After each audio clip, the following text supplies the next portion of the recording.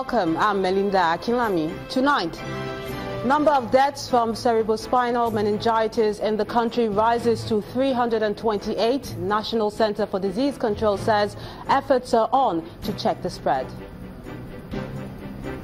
Another fuel scarcity looms as petrol tanker drivers threaten to embark on strike next Monday. Army announces arrest of Boko Haram spies as a wanted militant leader surrenders to the Nigerian troops. And landslide kills more than 100 in Colombia, leaving many others injured. And on business news tonight, Channels Television listed among Nigerian companies topping list of Africa's fastest growing businesses in London Stock Exchange Group's latest report.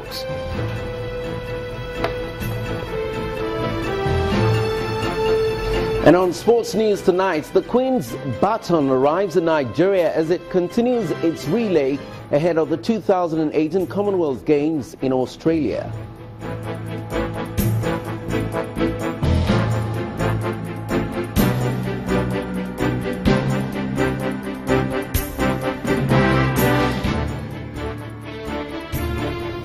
We begin with health matters. 328 persons have died following the recent outbreak of cerebrospinal meningitis in parts of Nigeria. This is out of 2,524 suspected cases, with 131 samples confirmed in a laboratory. So far, 16 states across Nigeria are said to have recorded suspected cases, with the most affected being Zamfara, Sokoto, Katsina, Kebbi, and Niger states. This was confirmed by the Chief Executive Officer of the National Center for Disease Control, Dr. Chikwe Ihekweazu, who was a guest on our breakfast program Sunrise. He said efforts are on to check the spread. We have about 2,524 cases across the country. About the uh, Exactly 131 of those have been confirmed, laboratory confirmed for bacterial meningitis, and there have been 328 deaths. Now, the most affected states are Zamfara, Sokoto, Katsina, Kebbi, and Niger states. Now, the outbreak actually started in Zamfara before it spread, and therefore the response is also uh, kicking off in, in Zamfara. In fact, we've been working very hard with the state governments, with the National Primary Healthcare Development Agency, our mother ministry, the Ministry of Health, our partners, the World Health Organization, and UNICEF, to really get on top of this situation, and I think we're making good progress. However, it's important to know that a lot that people can still do in the short term to protect themselves. Now, uh, meningitis actually. Um, bacterial meningitis affects the brain and the spinal cord, but it's actually transmitted through person to person contact, through coughing, sneezing, uh, living in crowded conditions. So, you know, the messages are the same. You know, you need to prepare, do careful uh, personal hygiene, wash your hands, and make sure if you can't avoid overcrowding, make sure your homes are well ventilated. And critically, especially if you live in the northwest, north central Nigeria, where this um, disease is circulating at the moment, ensure that once there are symptoms of neck stiffness, a sensitivity to sunlight, um, lethargy, so you're very tired and weak, please don't try and self medicate. The era of self medication is really over. Go to your healthcare provider. The earlier you get into the care pathway, the more likely you are to access the care you need. Antibiotics, a specific type of antibiotic, is, is works for meningitis, especially if it's given early.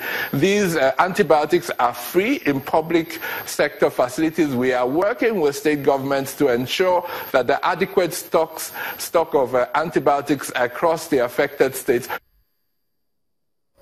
In the meantime, the situation is said to be serious in Zamfara state, where no fewer than 80 people are said to have died from this disease.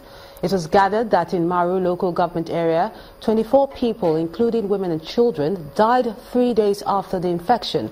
One teenager died today before being rushed to the hospital in Kaura local government area. The State Commissioner for Health, Dr. Sulaiman Gumi, told journalists that over 500 others are unconscious in various hospitals, adding that the state is working with UNICEF to immunize residents.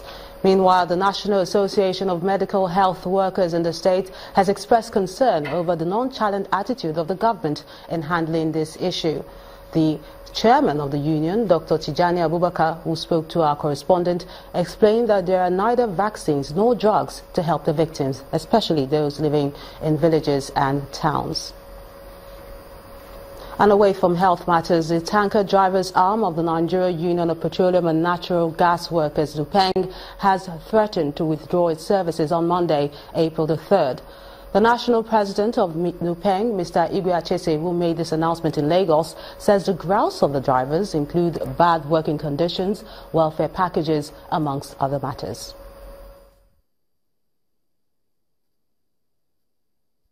The CWT section considered the inhumane the refusal of the National Association of Road Transport Owners, NARTO, to commence negotiations with the union for the review of the expired collective bargaining agreement on the working condition of our tanker drivers, members PTD branch, after several appeals and even ultimatums. The CWC section therefore resolved to give full backing to the industrial action the members in the sector might decide to take with effect from Monday 3rd of April 2017. To avoid these pains and discomfort, the action might cause the CW section call on the federal government to urgently intervene and apprehend the unfortunate situation to enable NARTO to meet its obligation to the tanker drivers.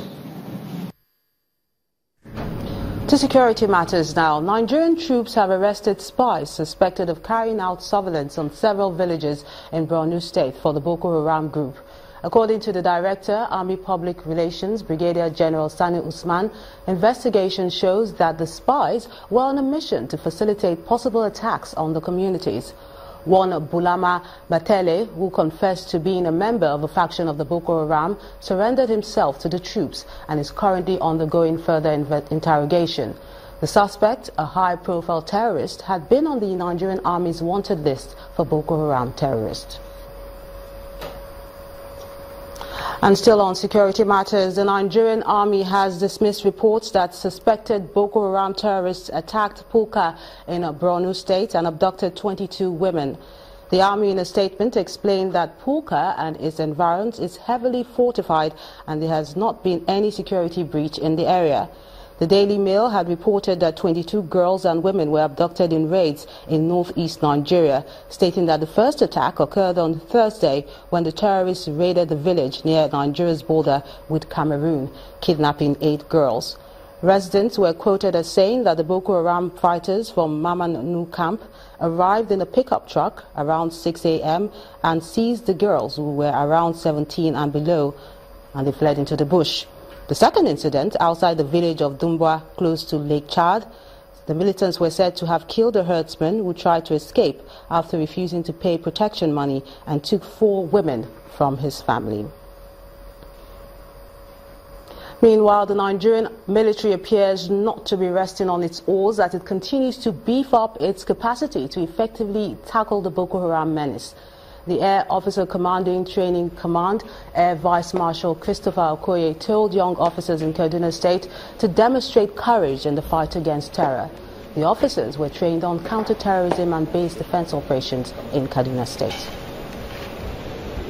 Let me remind the graduates that the leadership skills and values imbibed in this course is only a foundation for your career you will be required to avail yourself of the enormous opportunities available in the Nigerian Air Force to improve yourself further. Note that as military leaders, especially now you are junior commanders, you will be required to demonstrate courage, dedication, and commitment at all times. In order to introduce dynamism into the school curriculum, the AOC Training Command was directed that a review of the curriculum should include counterterrorism and base defense concepts. This will equip you with the necessary skills and knowledge required to address the security challenges confronting our dear nation. It is in this regard that a lot of resources was invested in your training I urge you, therefore, to bring to bear these skills and lessons acquired during the course as you carry out assigned tasks in the future. As you leave the training environment, you should be guided by the utmost sense of patriotism and avoid acts of misconduct that would tarnish the image and the reputation of the service. I implore you to be law abiding and respect the fundamental human rights of citizens in are dealing with the civil populace. Thus, you'll be promoting a cordial civil military relationship. Disposing medical waste is a challenge to many organizations that have one thing or the other to do with such materials in the country. In Delta State, the State University Teaching Hospital appears to have found a way out as it has received a machine for this purpose. The state government explains that the equipment is vital to keep the environment safe. According to the World Health Organization, 15% of waste generated by healthcare activities are considered hazardous, which of course can be infectious, toxic, or radioactive. For patients, it is bad, and people who are admitted with if uh, you have soiled sheets and you, you do not do the normal um, infection control and so on, then there's a risk that if people come in for surgery, for instance, infection may take hold and their recovery may be longer and may even significantly worsen the situation that they came in with. This has become a great concern for health practitioners. To curb this menace, the Delta State University Teaching Hospital Oghara is demonstrating the need to properly dispose of these medical waste using a purpose-fit incinerator donated recently. Here we are concentrating on the sharps, but that's the one that poses a lot more danger in the society if you just throw them like that. So what we do when they bring them from the clinic, like you just saw, we, we, put them in the burner here and burn them. Normally an operation takes about two hours and the, the furnace temperature of this incinerator is about between 1900 degrees centigrade and 2000 degrees centigrade, which means at that temperature, even plastic will burn to ash. So that is the essence, that is aim, to burn all the medical sharps that can really cause problems, to burn them to ash before you finally dispose them. The state government sees the gesture as one that should stimulate other organizations and corporate entities to look in the direction of supporting government with the provision of public infrastructure. With this donation, obviously, it is a, is a big partnership to the state, and it will help to improve uh, waste management um, in another central location. By the time we get three or four, like he has promised to donate another one, if we get three or four or five located in different senatorial zones, it will obviously reduce uh, distribution time and uh, transportation uh, cycles. Preventing the spread of diseases is still a function of healthy practices. Healthcare waste management has proven to be one of those areas that requires increased attention. Bauchi State appears not to be losing sleep over disposal issues. Instead, it's turning waste to wealth by converting them to raw materials for companies to produce a wide range of products. This next report examines the challenges and prospects of the state waste recycling plant set up in 2012. This building is housing the Bauchi State Waste Recycling Plant. The building is equipped with facilities to aid the recycling of polymer and plastic materials and ultimately engage the young people in the state.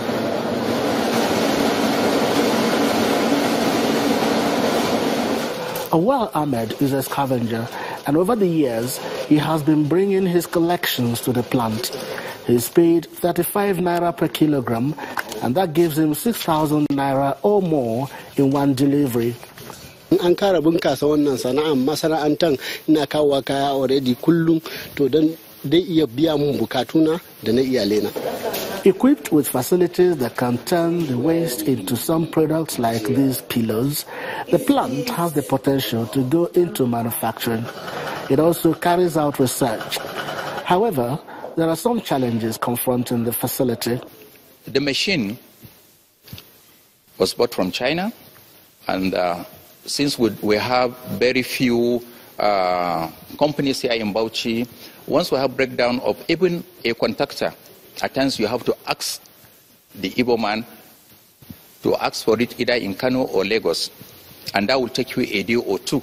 And if you cannot operate without that, then you have to wait until when that contact, contactor is available, you fix it, then you continue. The state government have built the facility to provide some earning for young people and women. but the challenges are hampering the efficiency of the plant. And the government says it is working to normalize the operations of the plant. In part two, after the break, applicants for the Unified Tertiary Matriculation Examination raised concerns over the difficulties in the registration process. That's in a moment. Join us again.